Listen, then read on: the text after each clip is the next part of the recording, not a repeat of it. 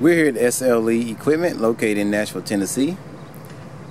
Today we're going to look at the Husqvarna MZT 52 with the Kawasaki engine fleet package.